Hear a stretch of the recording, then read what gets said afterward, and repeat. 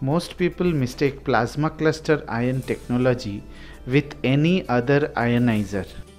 This misunderstanding leads to fear about Plasmacluster producing harmful ozone in the process of purification. Through this video, we will get into the truth about safety limits of ozone and what are the symptoms in case the level increase.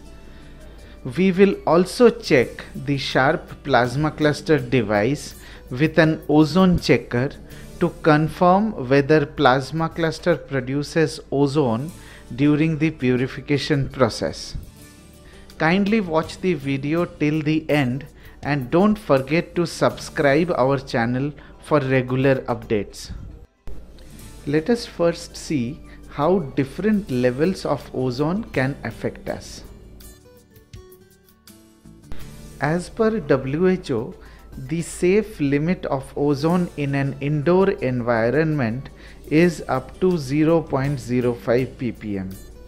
If the level goes beyond 0.05 ppm is when the problem starts happening and in initially we will start detecting a nasty smell and some kind of people can also have nausea if the level goes up to 0.1 ppm, there could possibly be irritation in nose and throat.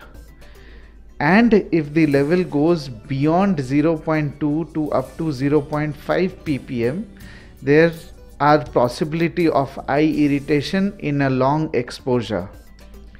If the level ex exceeds beyond 1 and 2 ppm, a person can get headache, nausea on continued exposure.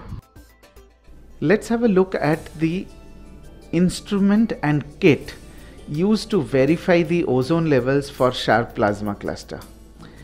It has an acrylic box which consists of a ozone checker. The ozone checker shows a numeric as well as color signs. If the numeric display goes beyond 0.05 ppm which is the permissible limit for ozone. It will show in red. If it is within the permissible limits it will either show green or yellow. And here are the outcomes of the test as you can see from the photographs which has been taken at various intervals no traces of ozone could be detected in the meter. And the indication both the digital indication which is showing as 0.000 ppm even after 30 minutes of test.